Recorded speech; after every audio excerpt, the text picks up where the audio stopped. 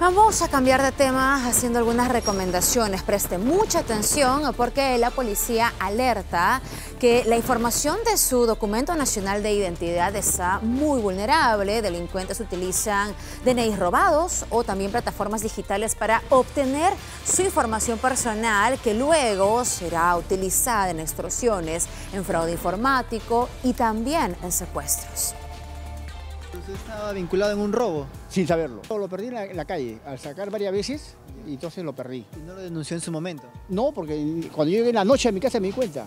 Él es Roberto y perder su DNI le pudo salir caro. Su documento se le cayó del bolsillo y terminó en manos de delincuentes que lo habían utilizado para suplantarlo en el robo de una tienda comercial. Ahora lo cuida más que nunca. Pero también existen quienes no saben cómo actuar ante el robo o pérdida de su documento nacional de identidad. ¿Sabe usted qué hacer si le roban el DNI o lo pierde? No.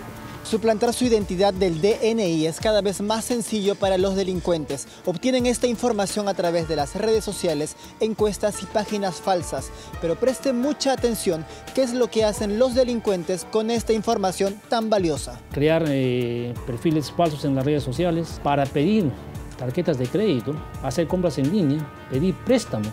Pero hay algo más grave que preocupa a la policía sobre la información que obtienen los delincuentes de su DNI. ¿Quieren tus datos para qué?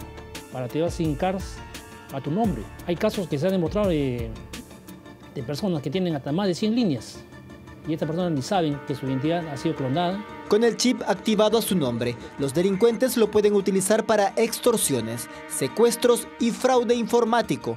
A diario las comisarías pueden recibir hasta 50 denuncias por pérdida o robo, pero existe otro grupo que no denuncia y que es aprovechado por la delincuencia para suplantar su identidad tantas veces como sea posible.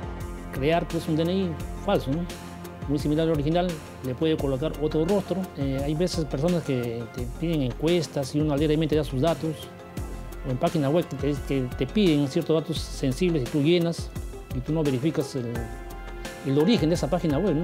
Otra forma de suplantar su identidad ocurre desde una computadora o celular. Los estafadores aprovechan los formularios a través de páginas falsas para obtener información personal. Por eso la policía recomienda verificar las páginas que le piden sus datos personales. Además debe denunciar cuando pierda o sufra el robo de su DNI. Si el documento está vencido, debe devolverlo al RENIEC y no publicar sus datos completos en redes sociales.